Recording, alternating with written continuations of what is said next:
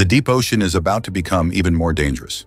In a global scenario where tensions between nuclear powers grow each year, the United States is quietly advancing with the next generation of submarines. A strategic weapon designed not only to maintain naval supremacy, but to ensure that, if necessary, they can destroy their enemies before they even have a chance to react. While many look to the skies, to hypersonic fighters or new orbital weapons, the real military revolution is happening in the depths of the ocean, and it is led by vessels so discreet that their mere confirmed existence is already a sign that the balance of power has shifted. China, with its relentless military rise, is increasingly pressuring American frontiers, not only in the Pacific but also deep underwater. For the first time in its history, Beijing is maintaining continuous operation of submarines armed with nuclear ballistic missiles.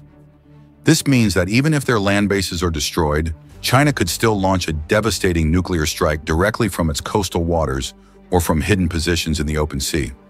The new JL-3 missile, with a range of over 6,200 miles and multiple nuclear warheads, gives China the unprecedented ability to strike the U.S. mainland without even needing to get close. With this, the strategic balance that was once almost exclusively ensured by the Americans begins to unravel. In the face of this new threat, the United States is not merely reacting, it is reinventing the concept of silent nuclear deterrence. They are building a fleet of submarines that promises to take underwater warfare to a level never before seen in military history. These new submarines, equipped with revolutionary propulsion technology and state-of-the-art weapon systems, are designed to be invisible to the enemy's eyes and ears. Their mission is clear. Survive a first strike, destroy the enemy in return, and ensure that the balance of deterrence never tips the wrong way. But beyond the technology and futuristic designs, there is something few take the time to consider. The human drama experienced by the crews of these submerged giants. Aboard a nuclear deterrent submarine, life is a constant combination of vigilance, pressure, and absolute silence. Weeks, sometimes months, without seeing sunlight, without direct communication with the surface, operating machines of destruction capable of changing humanity's destiny at the press of a button. Each crew member carries an immense responsibility, not only to keep the submarine operational, but to ensure that, if ordered, a nuclear retaliation happens without hesitation. It's a job that demands nerves of steel, blind loyalty, and a mental fortitude that goes far beyond physical training. One misinterpreted signal, one ignored alarm, one moment of hesitation, and the consequences could be irreversible. One of the secrets of this new generation lies in its propulsion. Instead of traditional propellers, these submarines are expected to use magneto-hydrodynamic propulsion systems, a concept that until recently seemed pulled from science fiction. No moving parts, no cavitation, virtually no noise. The principle is ingenious. An ultra-intense magnetic field and an electric current manipulate seawater to generate thrust eliminating the need for noisy engines or visible rotors. A submarine powered by this system not only moves in absolute silence, but becomes practically undetectable to even the world's most advanced sonars. The challenge, however, is enormous. Seawater is not naturally a good conductor, and generating extremely high-intensity magnetic fields requires brutal amounts of energy. Still, projects like DARPA's Bombeo show that reality might be close to catching up with fiction. The goal is clear, to build engines capable of operating at 20 Tesla magnetic field density and eliminate all propulsion vulnerabilities that currently expose submarines on patrol. If successful, these systems will turn the oceans into battlefields, where only those technologically ahead will have a chance to survive. But this silent race for underwater dominance carries invisible and increasingly dangerous consequences. The proliferation of invisible nuclear submarines creates an environment where communication is difficult, threat identification is uncertain, and the risk of miscalculation is extremely high.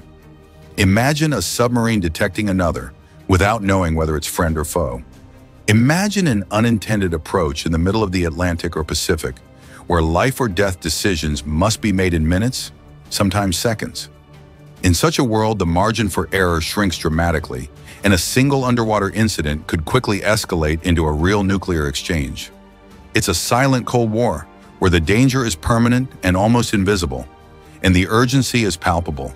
It's not just China expanding its fleet of silent nuclear submarines. Russia, even under pressure from sanctions and military strain, maintains one of the largest and most dangerous submarine forces on the planet. For the United States, leaving any gap in this race would be unacceptable. This is the context in which the new class of American nuclear submarines arises, the Columbia class. Designed to replace the veteran Ohio class, these oceanic giants represent the pinnacle of submarine engineering. Each Columbia-class submarine will cost around $9 billion. With a length of over 560 feet and a displacement exceeding 44 million pounds, they will be the largest and most discreet ballistic submarines in U.S. Navy history. But size in this case is not just a matter of brute strength. It's also a strategy to increase autonomy, stealth, and survivability. Armed with 16 Trident D5 ballistic missiles, each capable of carrying multiple independent nuclear warheads, these submarines will ensure that even in the worst imaginable scenario, the United States can retaliate with enough force to deter any aggressor from considering a first strike. Even more impressive is the level of onboard automation. With a reduced crew compared to previous generations, about 155 people, and highly advanced monitoring and control systems, the Columbia class will be able to remain submerged for months, operating in complete silence.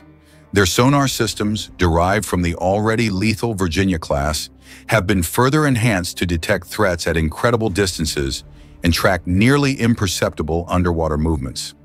And the new generation of sensors will allow early identification of enemy vessels, boosting survivability in conflict scenarios. But the Columbia class is not alone. In parallel, the United States is developing a new line of attack submarines, provisionally known as the SSN-X, which will replace the Virginia class in the coming years. These submarines, smaller but extremely fast and heavily armed, will be the eyes and fists of the fleet, ready to hunt down and destroy any threat that dares cross their path. The race, therefore, is not just about maintaining what was achieved during the Cold War. It's about anticipating the future, a future where China and Russia test the limits daily, a future where war may be waged not in the air or on land, but in the absolute silence of the deep ocean. And the truth is, in the deep sea, there's no room for mistakes. A single lost submarine could mean the collapse of the entire nuclear deterrence chain. It could mean vulnerability. It could mean war. That's why the investments are astronomical. That's why DARPA bets on technology that seems to defy the laws of physics. That's why every cubic foot of steel, every line of code, and every magnetic coil matters. Submarine supremacy is not just a tactical advantage, it is an existential necessity. If the United States wants to ensure that deterrence continues to work and that future wars are won before they even begin, it must be invisible, silent, and absolutely lethal. That's what the new generation of American submarines is betting on. And that's the game now being played in the dark depths, separating peace from destruction.